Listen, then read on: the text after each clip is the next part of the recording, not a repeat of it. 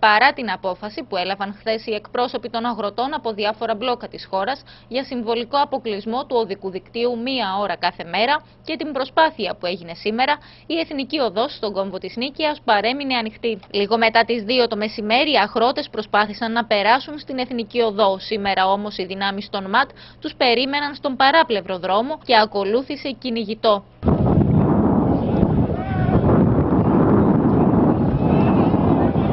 Μαζί με τους αγρότες, την ώρα που επιχειρούσαν ανεπιτυχώς να κλείσουν την Εθνική Οδό, ήταν ο βουλευτής του Κομμουνιστικού Κόμματος Ελλάδος, Γιώργος Λαμπρούλης, και συνδικαλιστές της Ένωσης Νοσοκομιακών Γιατρών Λάρισας και της ΔΕΗ. Με το, μας αντιμετώπισαν ως τρομοκράτες.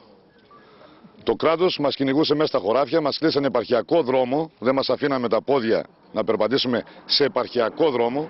Αυτό το θεωρούμε απαράδεκτο, το καταγγέλνουμε. Ζητάμε ίση μεταχείριση όπως σε όλους τους Έλληνες. Σε κανένα άλλο μπλόκο η αστυνομία και η κυβέρνηση μάλλον που είναι από πίσω δεν δείχνει τόσο πάθος και μένος εναντίον των αγροτών.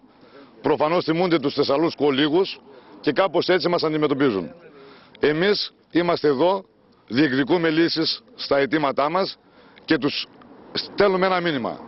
Όταν θελήσουμε εμείς να ανέβουμε πάνω θα ανέβουμε. Οι αγρότες σήμερα το πρωί ζήτησαν επίσημα συνάντηση με τον Πρωθυπουργό. Ζητήσαμε το πρωί ε, σε τηλεφωνικό ραντεβού, ζητήσαμε να συναντηθούμε με τον Πρωθυπουργό ή κυβερνητικό κλιμάκιο. Περιμένουμε απάντηση. Δεν μας απάντησαν ακόμα.